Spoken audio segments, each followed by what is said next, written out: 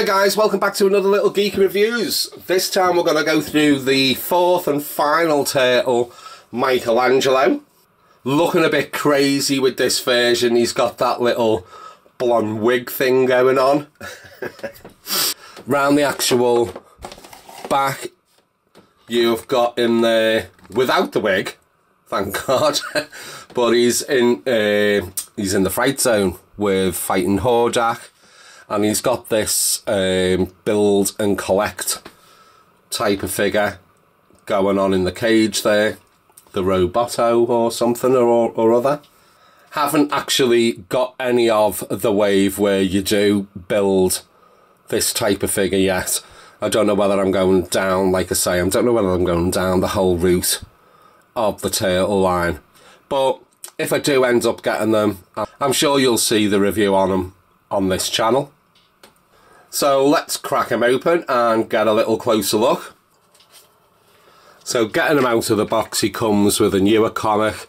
I don't know what this one is actually called because there has got no speech bubbles or anything within this one. But you've got Splinter in this story. You've got April O'Neil.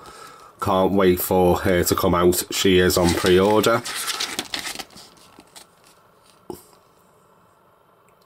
You got mutated Merman in this comic as well, and obviously Skeletor. Looking good.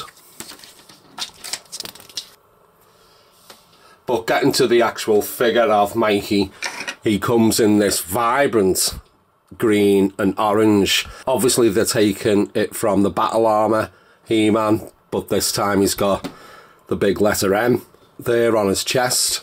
On his back, he comes with the usual shield where you can put his little weapons, accessories. So he comes with little nunchucks, so you can slide them down the back there, but we'll have a little closer look at them in detail in a moment.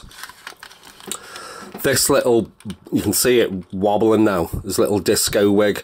So thank God this actually pops off because this is some type of horrific. now that we've got shut of that wig, you can see his face a hell of a lot more clearly. I love the big cheesy grin you've got on Mikey here. I love this actual face meld, well cool. Now with that wig popping off, does his bandana turn like all the others.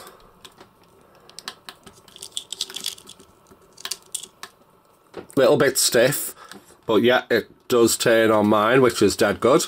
Let's, while we're here, let's do the accessories. He's got these little nunchucks. Now, getting them out of the pack, some of the plastic on mine is actually welded together, where some isn't. So I don't know, I don't want to try and force this in case it breaks. But all these little links from one side are all separate. And then these three links on this side are stuck together. And like I say, I don't want to jiggle it too much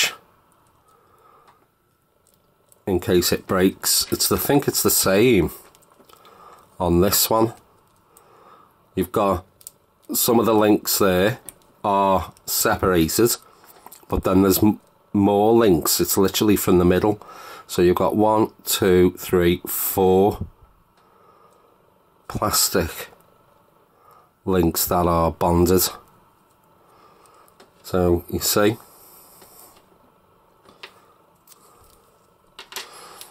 But they'll just slide into his hands.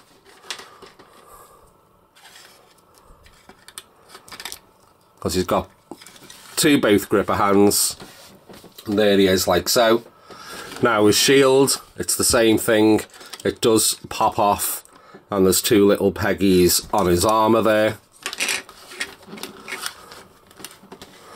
And articulation does all the same as all the other origins. And we know from this little guide that everything does pop off. So you can like modular and mix and match everything that you may wish. While I've just popped that arm off let's take the armour detailing off. And let's see what he looks like without. I actually thought this chest plate would have come off with the actual uh, vibrant orange type of armour but that is is actual body plate there as well. It's funny how they've done that with it not being the whole um, battle armour he-man look with it just being flat. So I thought it would have been like a um, the Fisto type of armour where it could have just clicked off but other than that, I, like I say, I really love the detail on them, except for this wig piece. I mean, I'm even putting that on right. It covers all of his eyes as well. But there you go. There is Michelangelo. Let me know your thoughts in the comments box on this. What do you think of this line? While you're there dropping those comments, do the usual with like, subscribe, tickle that little bell notification so you don't miss out on any others. But thanks for checking in on this one, and I will see you on the next. Take care.